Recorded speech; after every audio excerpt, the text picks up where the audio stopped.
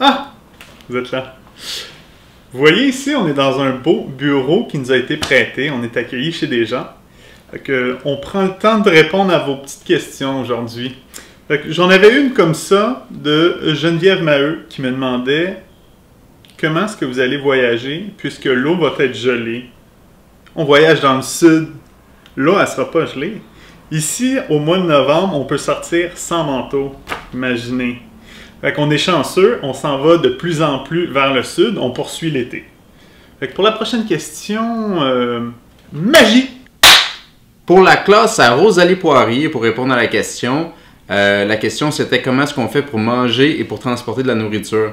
Ben, nos kayaks sont assez grands pour mettre plein de nourriture à l'intérieur, puis on a un brûleur avec du gaz pour euh, réchauffer, puis pour faire cuire la nourriture.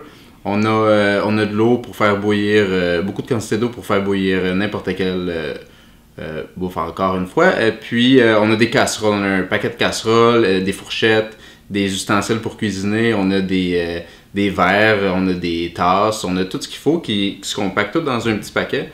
C'est tout bien fait pour rentrer dans le kayak. Puis après ça, on peut manger comme des vrais chefs.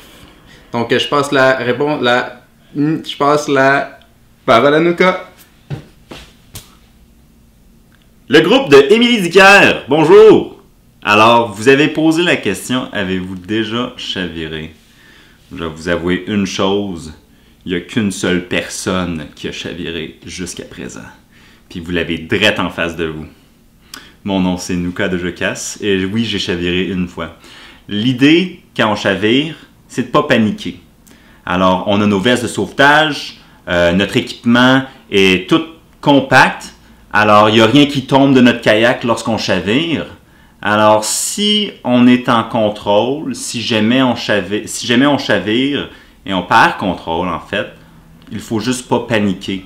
Euh, mes collègues Julien et Luc sont toujours là pour revenir vers moi, venir m'aider si jamais on est dans cette situation-là. Ça l'arrive.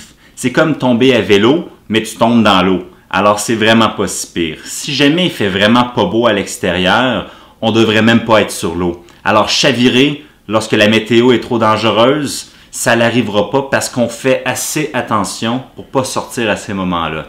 Alors vos questions ont été géniales. On espère que vous allez nous en poser d'autres. Alors vous écrivez juste en dessous toutes les questions que vous avez pour nous et on va avoir un grand plaisir de tout y répondre.